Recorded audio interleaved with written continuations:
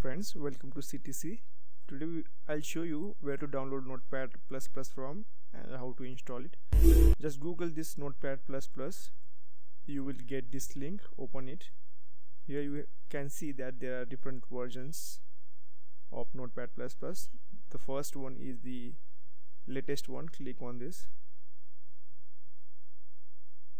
And here you can download click on here here different notepad setups are for 32 bit and 64 bit. These are the 32 bit setup and these are for 64 bit. Mine is 32 bit so I have already downloaded the setup here.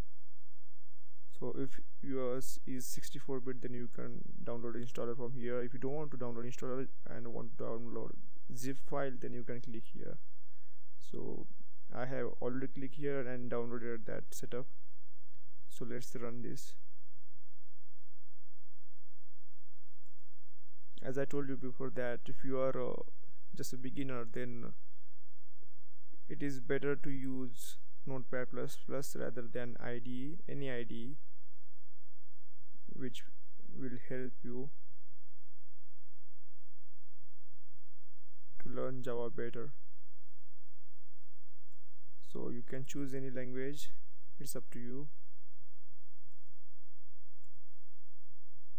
it's very it's pretty straightforward. Agree. You can uh, change the destination folder if you want. It's better to keep the in a C program files. Next. Next. Create shortcut on the desktop. Just check this box.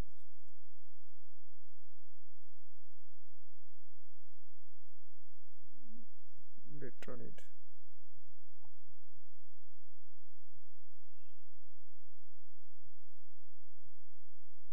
so here there is a menu language menu click on this. Since we are writing java code so click this java. So this way. You can write your program